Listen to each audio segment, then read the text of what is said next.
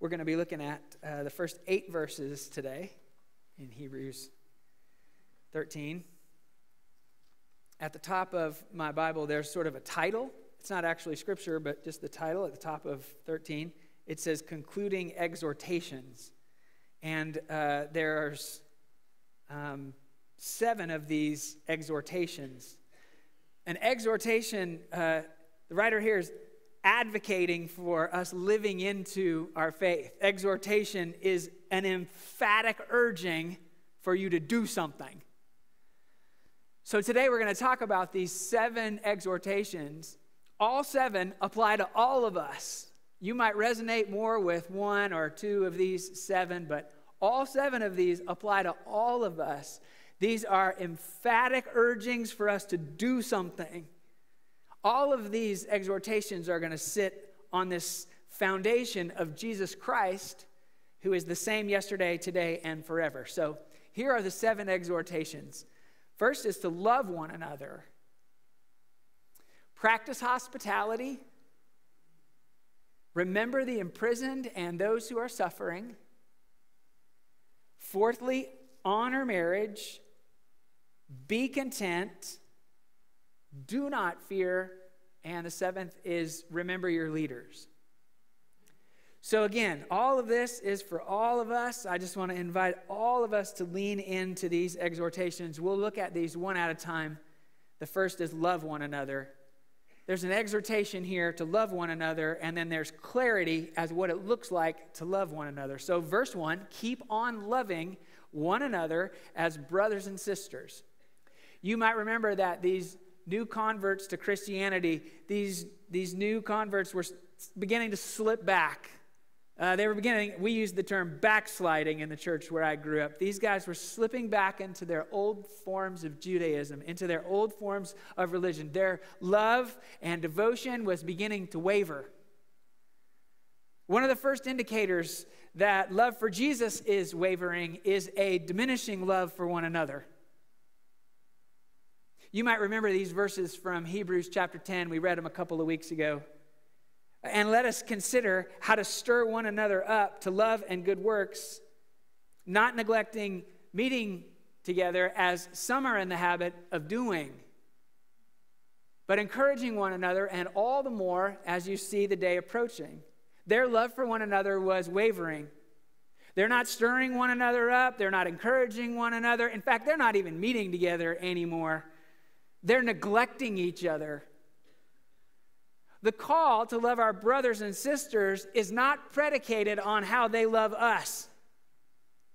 In fact, the pathway to holiness is choosing to love and then to love and to love again, even when your love or my love is refused or rejected. The exhortation here is for you and me to love others as Christ has loved you love one another. Second exhortation is to practice hospitality. Verse 2 tells us how do not neglect to show hospitality to strangers, for thereby some have entertained angels unaware. So the word hospitality literally means loving strangers. Loving strangers is a concrete expression of Christian love loving strangers. There's this really crazy story in Genesis 18. You don't have to turn there, but maybe later you could read Genesis 18. It's this story about Abraham's love of strangers. These three strangers show up, and they just kind of appear out of nowhere, and he's like, What's going on? And they have this quick interaction, and Abraham calls his wife Sarah and is like, Hey, make a big meal. Let's make a big meal for these strangers. They've come to us. You can read all about it. The whole thing is amazing. Uh, they're actually rewarded, Abraham and Sarah are actually uh, rewarded for their expression of love to strangers. The readers of this letter, the very first readers, would know that story. And then there's this whole thing about loving strangers. You might actually entertain an angel. Anyone here ever entertained an angel? Ah, this word angel means messenger. So, in some sense, as we entertain someone who brings a message from God, uh, we are entertaining an angel. in the sense of entertaining a spirit who comes to us in human form with a message from God, perhaps some will have that privilege even today.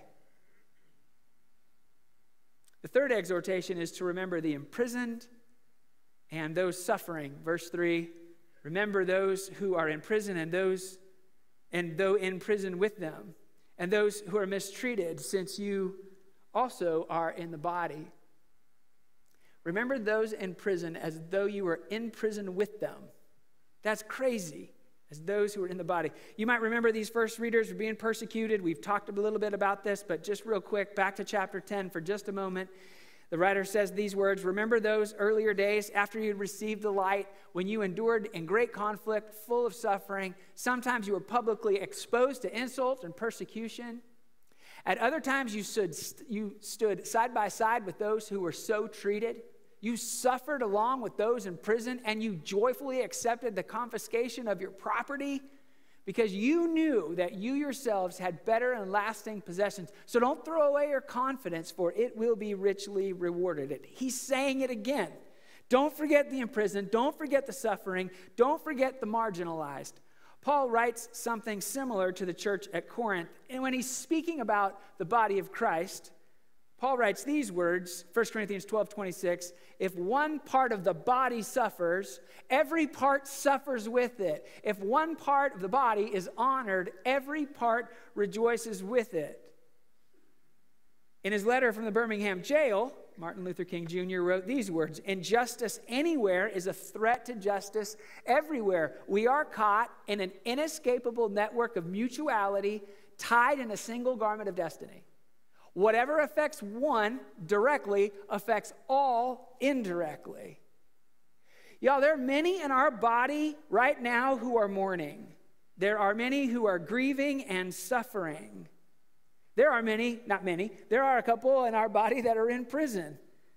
The scriptures are not calling us to be codependent, but rather exhorting us to be interdependent in the tapestry of mutual love and concern, suffering with and suffering for one another. That's the call to action in the exhortation. Fourthly, the exhortation is to honor marriage. Again, this is for all of us, whether you're married or single or divorced. This exhortation is for all of us to honor marriage. Verse 4 Marriage should be honored by all, and the marriage bed kept pure, for God will judge the adulterer and the sexually immoral. So, three things, real quick marriage, the marriage bed, and just a word about sexual immorality. So, lots of discourse, lots, lots of dialogue in the world, and especially in the church about marriage, about who should be married, about who gets to marry people. Churches and denominations are dividing over this issue of marriage. And like many of you, I'm confronted with these questions. I'm confronted with these issues. And in trying to find resolve in this issue, as with any issue I face, I'm going to always start with Jesus. What did Jesus say? What did Jesus do? How did Jesus love? How did Jesus pray? Well, here's a glimpse of what Jesus said about marriage uh, from Matthew's gospel, Jesus actually goes all the way back. He goes all the way back and quotes Genesis chapter 2, verse 24. Jesus says these words Haven't you read that at the beginning the Creator made them male and female? And said, For this reason, a man leaves his father and mother and is united to his wife, and the two become one flesh. Jesus is making it really, really clear. Marriage is God's idea from the beginning, and it is reserved for the union of a man and a woman. About adultery, Jesus says this You have heard that it was said, Do not commit adultery, but I tell you that anyone who looks at a woman lustfully has already committed adultery with her in his heart. And with as much strength and authority as he says these things, he shows just as much compassion to those who sin. To the woman caught in the act of adultery, Jesus says these words Woman, where are they? Has no one condemned you? No one, sir. She said, Then neither do I condemn you. Jesus declared, Go now and leave your life of sin. Just a word about the marriage bed. Keep the marriage bed pure. Uh, when we were going through pre- premarital counseling, uh, we got to the topic of sex, and I was super excited about the topic of sex, and we were giving this counsel. You can do whatever you want as long, it is, as long as it is agreed to by both partners. This is not the kind of direction that a 20 year old Craig Bowler needs to hear. This is exactly what I wanted to hear, but this is terrible counsel. We quickly reversed our course and made the commitment that whatever happens in our bed will honor God. The starting point in all of sexuality is how does it honor God? Not what our feelings are, not what we think. How does our sexuality expressed honor God? God is the creator of this incredible gift called sexuality, and when we honor God together, there could be no greater gift given to me or to us and no greater gift for us to offer back to God than to honor our marriage bed. Now, we've been married for 34 years, and believe it or not, we're still trying to figure it out. Anybody been married 34 years and have this whole thing figured out? I'd like to talk with you afterwards because we're still working it out. But I want to just tell you a couple of things that we've committed to in order to honor our marriage bed our bed has been the place of the greatest form of intimacy prayer. It's where we pray. It's where we've prayed for our kids, it's where we've prayed for their friends, it's where we prayed with our granddaughter. Our marriage bed is a place of prayer. Our marriage bed is a place of peace. We've committed to never argue in bed. It's going to be a place of peace, it's a place of blessing. We've committed to never go to bed angry. We take literally the words to the church that Paul wrote to the church at Ephesus Don't let the sun go down while you are still angry, and do not give the devil a foothold. We don't resolve everything, we don't get it all figured out. We've just made the commitment that we're not going to argue in bed and we're not going to go to bed angry. Our marriage bed is a place of joy, love expressed physically and intimately for mutual pleasure and joy, not to be given as a reward and not to be withheld as punishment. And lastly, our marriage bed, to honor our marriage bed, it's just a place of rest. We don't have a television in our room, we don't bring our phones to bed. It is a sacred space, it's a place of rest. The fifth exhortation is to be content. Keep your lives free from the love of money and be content with what you have because God has said, Never will I leave you, never will I forsake you. I love this. The writer is quoting Deuteronomy 31 6. Never will I leave you, never will I forsake you. Contentment references money. Money is not bad in and of itself, but I want you to make sure you notice the language here. It doesn't say stay away from money, it says be free from the love of money. Money can do crazy things to people, it does crazy things to me. I don't know if you know this, but I don't know who gives here. I don't know like the names of who gives or who doesn't give. I don't know how much money people give. I've never known. I don't want to know. Money does weird things to me. So I just don't want to know that kind of stuff. I just want to know that we're giving. That's what I want to know. I want to know what we're giving. Paul writes the same thing to Timothy, 1 Timothy chapter 6 verse 10, for the love of money is the root of all kinds of evil. Some people eager for money have wandered from the faith and pierced themselves with many griefs. Money can do that. The writer is saying, be content Tim Keller, in his book Counterfeit God, says Jesus warns people far more often about greed than about sex. Yet almost no one thinks they're guilty of it. Therefore, we should all begin with the hypothesis that this could easily be a problem for me. The biggest threat to contentment is comparison. The moment we start comparing ourselves to one another, we begin this journey of discontentment. The exhortation is to be content. Never will I leave you, never will I forsake you. God's got us, and we can trust Him. The next exhortation is really similar. It says, Do not fear. Uh, the Lord is our helper. Do not fear. The writer quotes Psalm uh, 118, 6 and 7. So we say with confidence, The Lord is my helper. I will not be afraid. What can mere mortals do? Love this. The Lord is our helper. We don't need to be afraid. Classic passage, most of you probably know by heart Psalm 23 4. Even though I walk through the darkest valley, I will fear no evil, for you are with me. Your rod and your staff, they comfort me. Isaiah 41, verse 10 So do not fear, for I am, do not be dismayed, for I am your God, and I will strengthen you and help you. I'll help you. I will uphold you with my righteous right hand. There's just one other passage of scripture I want to share with you just really quickly. It's this crazy story in the Old Testament about battle. There's always battles going on in the Old Testament.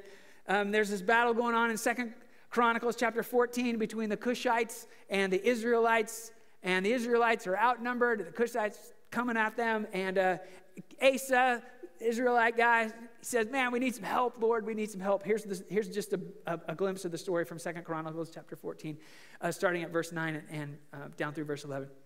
Zerah the Cushite marched out against them, out against the Israelites, with an army of thousands upon thousands and 300 chariots and came as far as Mareshah. Asa went out to meet him, and they took up battle positions in the valley of Zephathah near Mareshah. Then Asa calls to the Lord his God and said, Lord, there is no one like you to help the powerless against the mighty. So help us, Lord our God, for we rely on you, and in your name we have come against this vast army. Lord, you are our God. Do not let mere mortals prevail against you. I love that. Asa knows that he's outnumbered.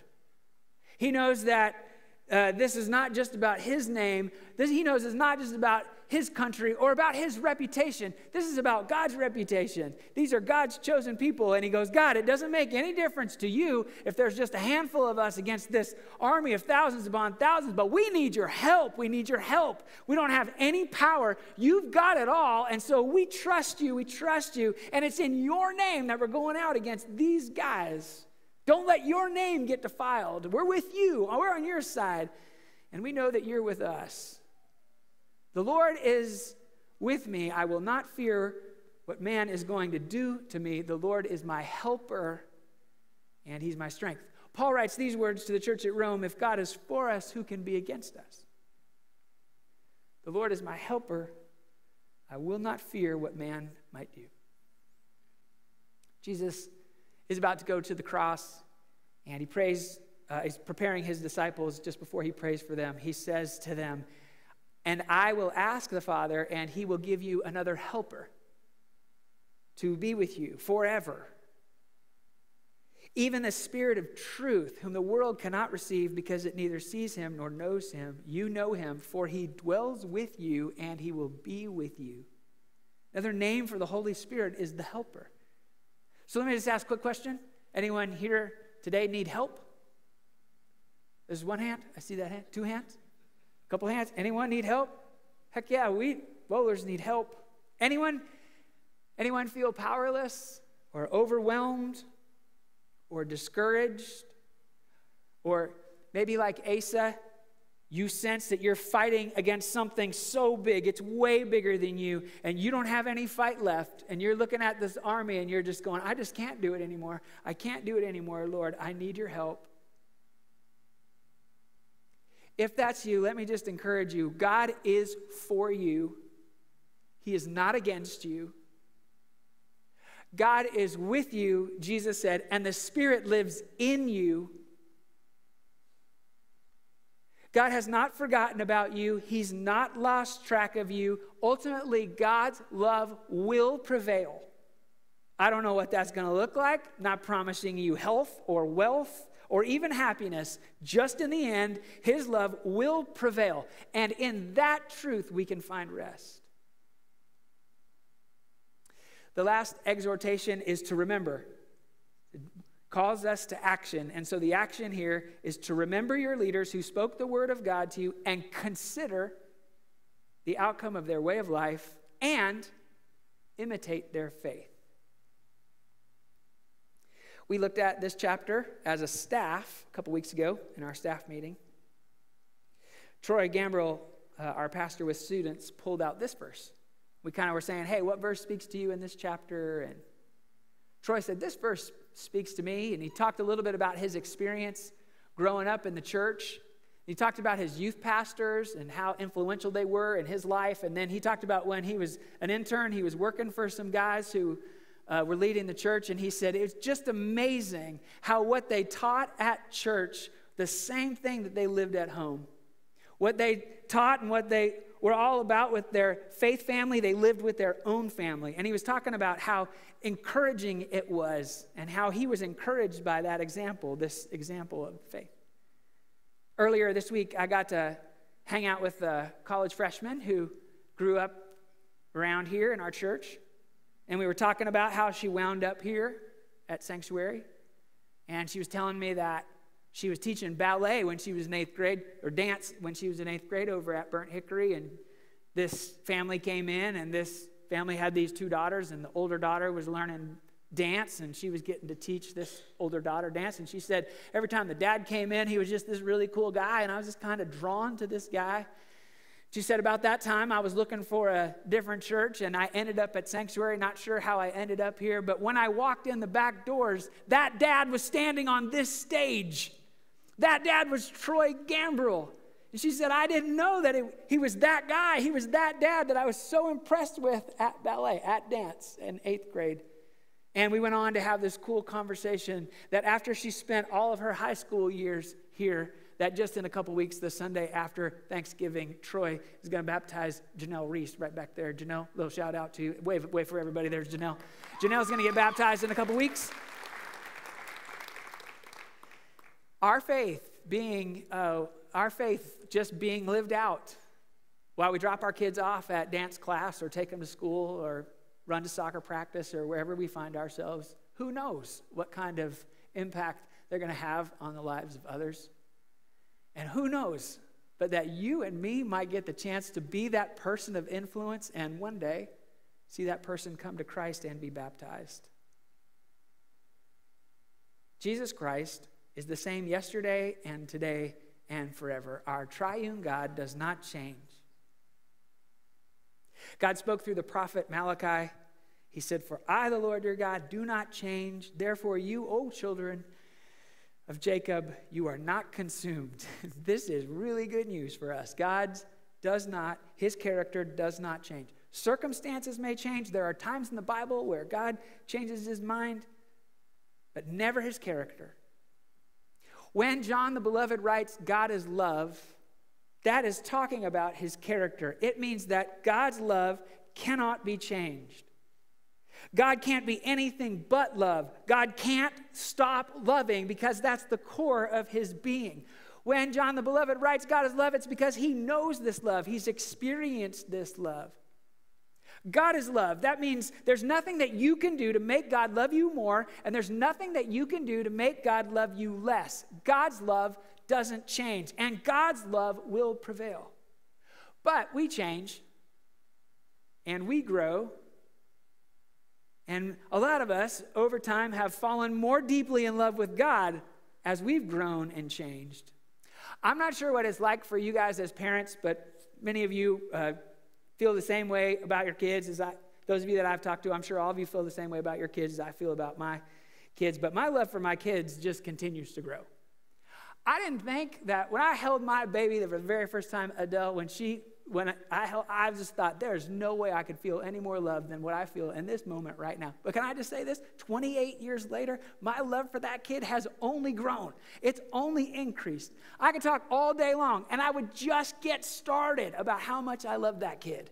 And then all of a sudden, seven years later, this Chinese kid is handed to us and says, Here's your kid. I'm telling you, in that moment, I could have never loved that kid. I mean, more than I, I couldn't even express. All I could do is just cry I love that kid so much when she was handed to us. But can I just tell you, 21 years later, I love that kid more than I could ever be. We could talk all day long, and I would just be getting started. My love for her has grown and grown and grown and grown. God's love never changes, but our love can change. Our love can grow. I'm changing, I'm growing. One of the ways that I've changed and grown is my picture of God. God is a lot bigger. He's a lot bigger and much more beautiful and more kind and more tender and more compassionate and more powerful and more loving than ever before. I just try to illustrate this real quick. I was trying to think, like, how could I illustrate this? I'm just going to illustrate it real quick. I was reading to my uh, granddaughter Lennon a little bit of C.S. Lewis, uh, Prince Caspian. Anybody uh, know the Lion, Witch, in the Wardrobe series? Prince Caspian's amazing. Um, she's one. She got the whole thing. She got everything that I was reading here. Just kidding. she was asleep. but it's never too early. It's never too early.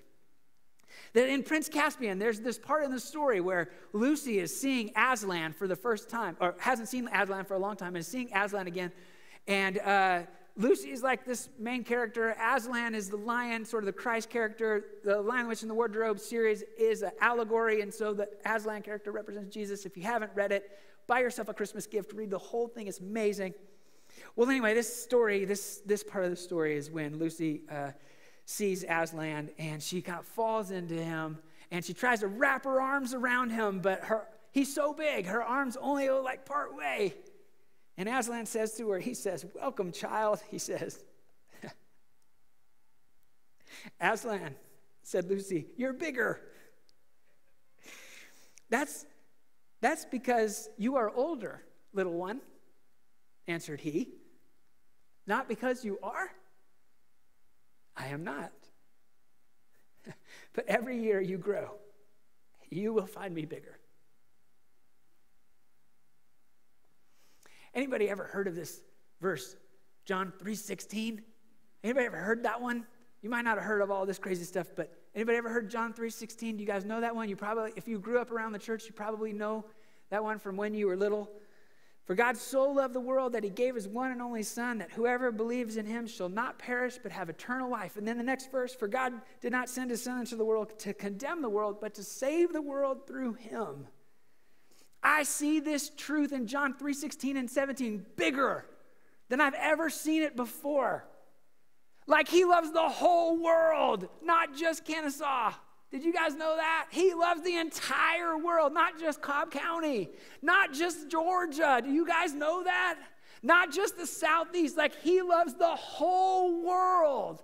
He loves the whole, when it says the whole world, it means the whole world. And when it says whoever, it literally means whoever. Not who we think is okay to enter into the kingdom, but whosoever will. When I'm reading this stuff, it's so much bigger than I've ever read it before. And condemnation, by the way, condemnation was never a part of his character. And it's never a part of his character now, nor will it be one day. Condemnation is never a part of his story. His story is to save. It is to save. It is to save. It is to save. It is to save. It is to save you and me and the world. And who does he want to use to do that? You and me. I got a lot that I'd like to say about this. I could talk all day long about this. Our world is crazy. But Jesus is the same yesterday and today and forever. Fullerton Dale, who led us in our call to worship, I'm going to give Fullerton Dale the last word in this message. So check out his video. Today, Craig has asked me the question Jesus is the same yesterday, today, and forever. How does this truth encourage you? The truth to me is that Jesus will never let me down. You will always be there for me, always love me, and always care for me. I don't need to worry about him changing or stopping what he's doing. I don't have to think about is he going to be there one day and not the next, because he will always be there throughout.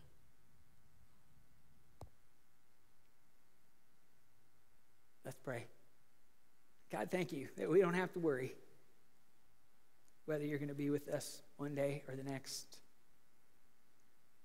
Thank you that we can rest in the confidence that you have done it, you are doing it, and you will prevail. God, we give you praise.